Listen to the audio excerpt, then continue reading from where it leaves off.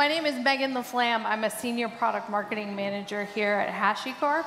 And I'd let Pete introduce himself. Sure. Um, my name is Pete Pacent. I lead product management on the Boundary team. Um, while we kind of kick things off, and I know a few people are coming in, I want for first disclaimers. this is water. We've got a big launch today, but this is water, not beer. Um, and then second, I was wondering, um, could people help me with a survey real fast? How many people are here learning about Boundary for the first time? Could I see a quick show of hands? Okay, wow. So a lot of folks, probably Vault users, I would imagine, interested in Boundary. How many people have actually kicked the tires with Boundary, playing around with it? Can I see a show of hands? Okay. And how many people are actually using Boundary either for their team, personal use, or anything like that? So still some folks kind of getting up and running with it. Okay, awesome. Always interested. We're, we're here to kind of talk about the trajectory of Boundary so far, and obviously today's big announcement about HCP Boundary. Um, we'll have a lot of content there, but I'll pass back to Megan to kind of talk about the, the um, Thank you much. Yeah, about zero trust and kind of the origins of Boundary. Awesome. Thanks, Pete. All right, so context setting is always important when you're in these day-long sessions, multiple day conferences. So Armand just touched on a bit of this, but I think some things bear repeating. About 18 months ago, we launched Boundary as an open source solution that's really focused on securing and managing infrastructure access to critical infrastructure, standardizing workflows for primarily developers, other folks who need infrastructure access like support teams and um, app developers. And today we're really excited to discuss Boundary on the HashiCorp Cloud Platform. So this is a public beta of our Boundary offering as a managed cloud service. So really excited to give you an overview of that solution today, and then I'm going to hand things over to Pete, who's going to talk a little more in depth about the capabilities and show you a brief demo. So HCP Boundary is really the easiest way to get up and running on Boundary and automate how you can standardize and automate those developer access workflows. And so we built this with the core idea in mind to address the growing challenge around securing infrastructure in the cloud operating model. And traditional access models are really centering around that traditional network perimeter. So we talk a lot about this as you know strengthening in like a castle and moat approach, where you're hardening the exterior of the network, and then if someone has access to that network, um, they have access to everything. And the idea there is that uh, everything outside is bad and everything inside is good. But that really breaks down in the cloud operating model where you have infrastructure dispersed across multiple data centers, across cloud providers, on-prem infrastructure. And within those uh, data centers, you need to also have much more granular access and authorization capabilities than what's offered today. And they lack the traditional solutions today, whether it's your VPN, your, your Bastion host, um, sometimes even traditional PAM solutions with really um, high manual overhead to to uh, configure those access controls, you lack the granular authorization needed to control access at that level. So in this shift to the cloud operating model, these approaches really break down in this distributed remote world, right? So cloud resources are distributed across these data centers, like we mentioned. And in that model, really network location is way too brittle and breaks down super quickly. So in the zero trust security model, the focus is primarily on identity. So we're shifting away from location-based network access to logical identity and associating authorization and and um, access to that identity and what people can do once they have network access.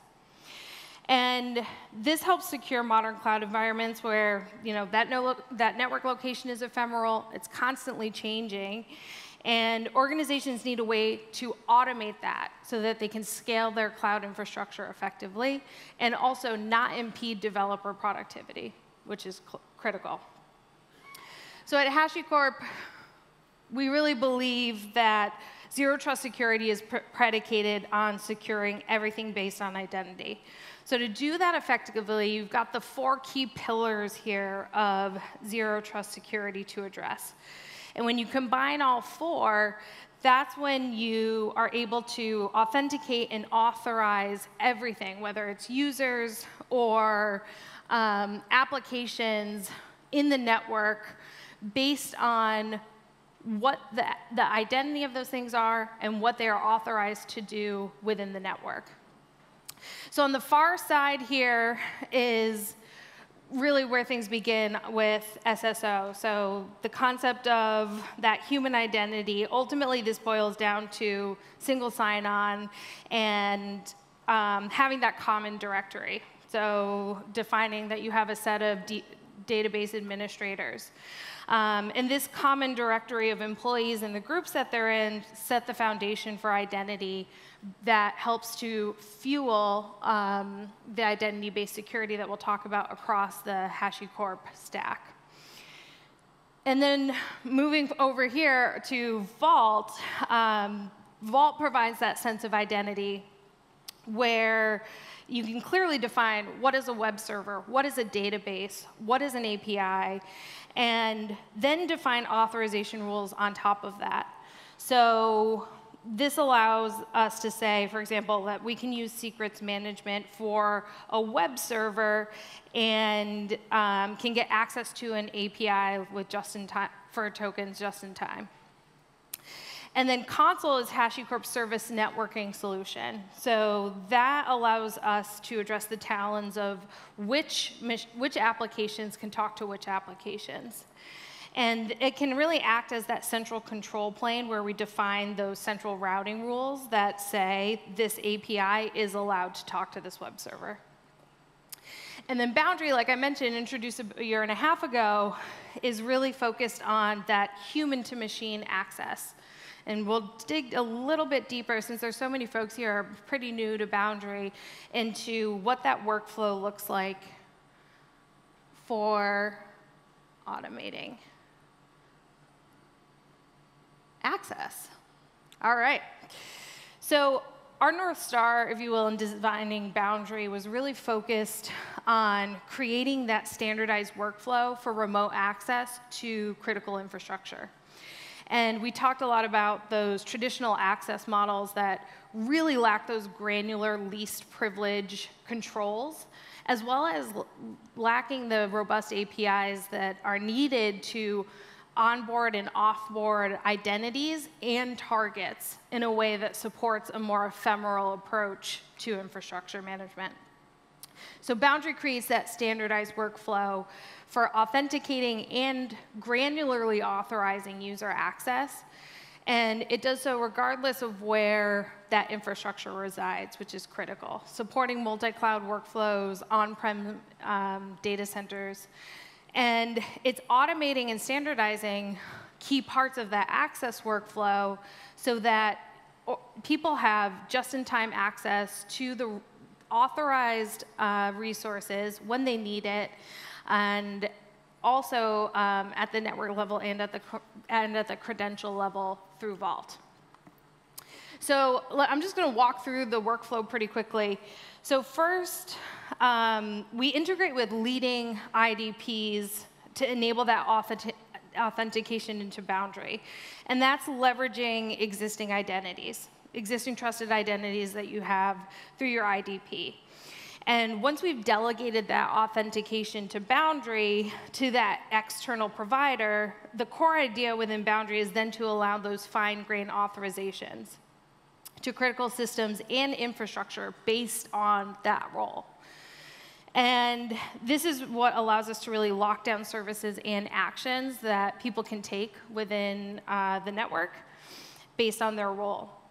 And then I think a key differentiator for Boundary is the second step around connect. And this is where Boundary really streamlines connections to hosts and targets by automating service discovery and access configuration as workflows are deployed or changed. critical in these ephemeral models. And the primary way that we do that today is through dynamic host catalogs. So this is key to automating the not just the configuration, but the discovery of those targets. And a catalog is the way for Boundary to really act as um, a client to the catalog provider. And that might be any infrastructure provider. Like today, we support AWS and uh, Azure.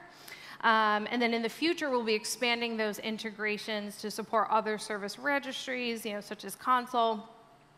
And that automated lookup of um, potential targets is critical in the automation of this access workflow and standardizing access regardless of where it resides.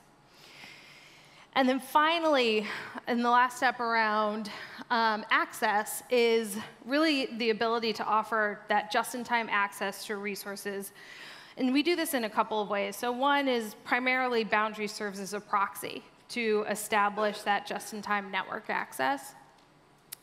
And to the client and is really only allowed for the time that uh, the session is allowed to live, which is established by the administrator. And from there, the other is to integrate with a secrets management solution like Vault to broker credentials to critical infrastructure just in time and only allowed for that session. And so with those three key automated parts of the access workflow, you have a standardized way for developers to get access to uh, critical infrastructure very quickly, but also as for administrators, it streamlines the ability to onboard both users and targets and offboard them just as easily. So that's why we're so excited to announce Boundary on the HashiCorp Cloud Platform today. And we are now in public beta, which means that you can leave here today and try it yourself. Um, we're looking forward to getting feedback from folks as well. We'll share some details at the end about how to do that. Um, but this also rounds out now our zero trust security solutions on the HashiCorp Cloud platform. So Vault, Consul, and Boundary are now available as managed cloud services. So with that, I'm going to hand things over to Pete, who's going to take things over from here and talk a little more about the details of HCP Boundary, and then he'll jump into a demo. Sure. Thank you, Megan. So I'm really excited to finally get to talk about HCP Boundary. This is something that we've been, we've been working on for quite a long time on the Boundary team. So the whole idea with HCP Boundary is that it makes the Boundary workflow, that kind of standardized developer remote access workflow to their infrastructure endpoints available as a cloud service. So the big kind of takeaway with this is that it's available as a one-click deployment. It's easy to get that environment up and running. If you're familiar with Boundary in the past, you don't have to go through the process of managing your control plane. So the controller is kind of the underlying Postgres database. Setting that up in your environment is no longer an issue with the HCP um, Boundary Cloud Managed Service. The idea with this is that that offers Boundary's workflow, creates a standardized ways for the developers to access their machines. And then ultimately, from the administrator's perspective, you get all of Boundary's automated workflows around onboarding new targets and new hosts as they get deployed or changed throughout your infrastructure. Um, and in the same way, also automate the onboarding of new identities, potentially vendors onto your network, um, changed roles for given engineers, per perhaps when they go on call or something like that, where you need to um, just in time or, or on a dynamic capacity, assign that user a temporary role. All of those kind of automated workflows in terms of privileged management um, within your infrastructure you can get through Boundaries Cloud Service. So today it's available in a beta capacity. So I want to kind of go through what, what that means. One thing is that right now, because it's in beta, we don't have any kind of enterprise support you know, agreements in place. Um, and similarly, we don't have any production SLAs within the beta offering. Those things will be coming as we, as we move forward to GA. Um, but The flip side of that is that it's available for the low price of free on the HCP Cloud platform where you can get started today. Um, all of our materials are already online. We've got a ton of different education materials um, out there, tutorials for you to get started with, um, as well as kind of some um, basic Terraform configurations for setting up your environment and the actual target onboarding and identity onboarding into Boundary. So another thing about these beta environments is that all will be fully upgradable to GA clusters. So what does that mean? When you go and you know, play around with HCP Boundaries beta today, you can make sure that that environment, all of your state, all of your um, hard work that you've put into configuring that instance can be upgraded to a future GA production instance. Um, one kind of key thing about HCP Boundary that we've been really intentional about designing for is making sure that it can be useful in the most kind of regulated use cases and for highly secure organizations.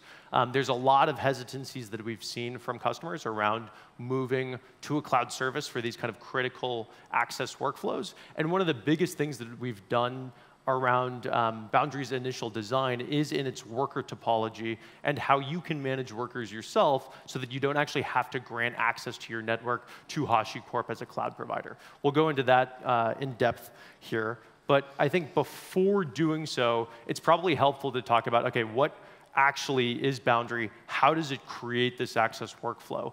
Um, and if we, we think about that as a whole, the whole value out of Boundary is that it's able to basically authenticate and authorize access to your production environments, test environments, dev environments, but it does so without needing to expose your network directly to the clients doing that access. So your engineers don't have to have direct access to any of the resources that they're connecting to like you would in an existing kind of VPN model or existing PAM model. And then similarly, they don't need to worry about the actual credentials needed to access those systems, right? You authenticate to Boundary. Once you're authorized, Boundary actually handles the whole entire process of credential management through integration with HashiCorp Vault or um, actually as announced today, it's not in the slides, but we also um, added some native secrets management support for Boundary 09 that also went out today with beta. But the whole idea is that from an end user's perspective, that developer, they don't need to think about the IP address that they're connecting to. They don't need to think about the port of the service that they're connecting to.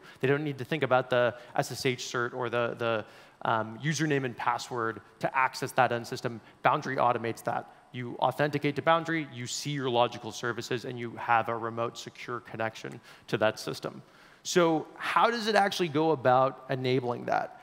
And within Boundary, it's, it's probably helpful to think about what it actually is. It's, a, it's fundamentally an intelligent proxy that manages network access between the clients within your organization and then the target systems that you need to connect to. Again, those targets can be basically any kind of infrastructure endpoint. Um, those might be you know, a VM EC2 instance on AWS. It might be an Azure SQL database, like we'll see um, in the demo today. It could be a Kubernetes cluster on premises. Whatever that infrastructure endpoint is, the whole idea is that it's, it's for these technical users, developers, DevOps engineers, and, and um, those technical users that need, need access to these endpoints. So fundamentally, within the cluster itself, Boundary has two different components. It has a control plane that serves its API, for those familiar with Boundary open source, um, you might be uh, you might remember that there's basically two components within that control plane. A set of stateless controller nodes that can be auto-scaled, um, and then an underlying relational database that manages state around what infrastructure targets there are and what identities there are and what their respective access permissions are. The advantage of this model is that you can get Boundary up and running without any kind of agent needed on your target system. So you don't need to bake an agent onto your VM or whatever infrastructure you're running for it to be able to be managed or for its access to be able to man be managed with Boundary. So fundamentally, that control plane, when users authenticate to Boundary, they go and access that control plane. That control plane verifies whether or not the user has um, the right set of permissions to connect to the target that they're requesting access to. Under the hood, Boundary's control plane can act as a client to HashiCorp Vault to check out a single-use credential for a particular session. And then ultimately what happens is that that control plane um, assigns that session to a worker node. A worker node is a key step in Boundary because that's the, that's the thing, the proxy that's actually brokering the connection to that end system. So the clients the, the control plane which in HCP Boundary we host, doesn't actually have direct network access to wherever that target is. It's fundamentally the worker that's laid down at the edge of your network and avoids the need for clients to have direct network access. That, get, that connection gets proxied through those workers. And those workers are fundamentally a TCP-based proxy. So you can use Boundary to connect over any kind of application layer protocol that runs on TCP. So things like SSH, RDP, database access scenarios, Kubernetes access scenarios. Um, all kind of covered within this flexible topology. The other nice thing about this is that workers are fundamentally stateless, so you can you know, auto-scale those as needed within your different network enclaves. Um, and there's a whole entire process by which you can ensure that traffic to particular targets routes through particular workers. So let's say I have some PCI enclave or some particular VPC that I don't want to give access to everything. I can drop a worker in that network and make sure that routes only go through the relevant worker that has access to that outbound target. So in HCP boundary, um, one of the biggest things that I think is kind of critical to making sure that it's adoptable and, and usable in those secure environments is this flexible topology by which you can manage your workers. So option one is basically to have an HCP managed worker. So we will host both the control plane for Boundary as well as those workers, um, and HCP Boundary will be able to auto scale to kind of meet the needs uh, of the demands of your system, both the, the users under management and the targets under management, and any sessions that you create between those two. The other kind of critical piece that we're really excited to launch today is this ability to self-manage your workers. Um, so the advantage of this is that you can have Boundary as a cloud service anytime you have a net new network um, or some new private network that you want to be able to establish access to with Boundary, it's as easy as dropping down a worker, deploying a worker into that network, and peering it up to the control plane, and then brokering access through that worker node. The advantage being that should you want, you can make sure that no network access to your targets is given directly to HashiCorp as a cloud vendor or anything that you don't personally manage. So that's, that's one of the, kind of the primary mechanisms for this. And in parallel to today's HCP Boundary beta launch, um, we also came out with 0.9 of Boundary OSS, which has a whole set of capabilities that are kind of peered into this or like paired with this um, beta release. One of those being the uh, option to have a new method by which workers authenticate up to the control plane. For those familiar with Boundary open source, traditionally there was a KMS-based auth method um, to establish trust between worker nodes and the control plane. Today, we also um, announced the uh, new capabilities around PKI-based authentication, where you can basically generate a secure key on your worker node, um, copy and paste that into your control plane, and then establish mutual trust between your new worker um, and your control plane. Or in, in kind of an um, automated capacity, you can generate those through programmatic constructs, whether it's our REST API or Boundary's fully instrumented Terraform provider. So that's a little bit about the workflow as a whole. What I'd love to see next is um, actually walk you through a scenario of using HCP Boundary in a um, customer environment or like a hypothetical environment that we see many customers kind of run through. Um, just to kind of set the stage for this, um, this kind of builds on our HashiConf Global demo where we had a Northwind product line. And I guess the scenario here is let's say we're administrators, we have to onboard a new data analyst to be able to access our um, sales database, which in this case is an Azure SQL instance running, running in Azure. So we'll walk through a scenario that basically combines um, multiple parts of Boundaries kind of secure access workflow to establish just-in-time access with single-use credentials and basically automated discovery of where that Azure SQL database is residing. So to kind of walk you through the process of this, um, the user will authenticate through HCP Boundary. They'll be able to authenticate with Azure Active Directory as an OpenID Connect auth method, basically as, a, as an auth provider for Boundary. Um, there's also a method by which Boundary can automate the assignment of user roles in Boundary based off of claims maintained at that identity provider level. We won't go into it in depth in this demo, but this demo is going to be fully available on GitHub for you to get started with yourselves. And the key advantage here is that you can basically um, dynamically assign those permissions. So based off of group memberships with an Azure AD, I can dynamically assign people roles which then give them access on a just-in-time basis um, to certain services within Boundary. The next kind of step in that process after the user's been authenticated and authorized is to perform kind of the checkout of a secret, a single use database credential in this case um, for the target. So through this, we'll use um, HashiCorp Vault as the secrets management solution for Boundary. So Boundary can make an authenticated call to Vault under the hood and pass that single use credential um, back to the user. So after they go through their session, that, that, that um, username and password will no longer be valid. And then ultimately, the user will have a secure route to the Azure SQL instance without needing to think about the actual IP or port that that Azure SQL instance is, is residing on. And the way in which we do that is through Boundary's dynamic host catalog capabilities, which um, is basically, as Megan kind of touched on, a way for Boundary to act as a client of an external provider and do an, basically an automated lookup of any net new services matching an administrator defined filter. So it's basically a way for me to say, based off that provider's metadata, in the case of Azure, I could say, for instance, within subscription foo of resources type bar in um, region US East as an example, onboard all um, resources matching that description within a host set, and then basically um, assign the same permission and access policies for those newly deployed resources so that I, as an administrator, don't need to go and do any extra reconfigurations every single time a new resource is deployed or, or um, you know, or changes over time. So this is the overall kind of workflow that we'll go through. Um, what we'll actually do in practice is deploy HCP boundary. We will configure this kind of topology the Azure Active Directory bits, the HCP Vault bits, um, and then the Azure SQL onboarding through Terraform, which is um, a, a, common way that people kind of configure boundaries resources at scale, and then we'll ultimately access that resource through the Boundary Desktop application, which is a um, basically low, low code way, GUI-based interface that works on Windows, Mac, and Linux systems to access your, your infrastructure under management.